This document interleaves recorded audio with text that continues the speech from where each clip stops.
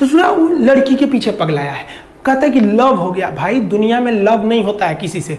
ये एक अट्रैक्शन है सबको। मान लीजिए मेल है तो उसे फीमेल से होगा फीमेल से है तो उसे मेल से होगा। तो कोई कैसे कहेगा कि हम तुम्हारी ओर अट्रैक्ट हो रहे हैं? तो उसको छुपाने के लिए कहता है हमको लव हो गया। भैया लव अब नहीं हो गया। अगर आपसे कोई कहता है ना कि आपको आ, वो आपसे ट्रू लव करता है तो उससे कहिएगा कि हमको अभी मेरा किडनी खराब हो गया एक लाख रुपए की ज़रूरत है। नहीं देगा।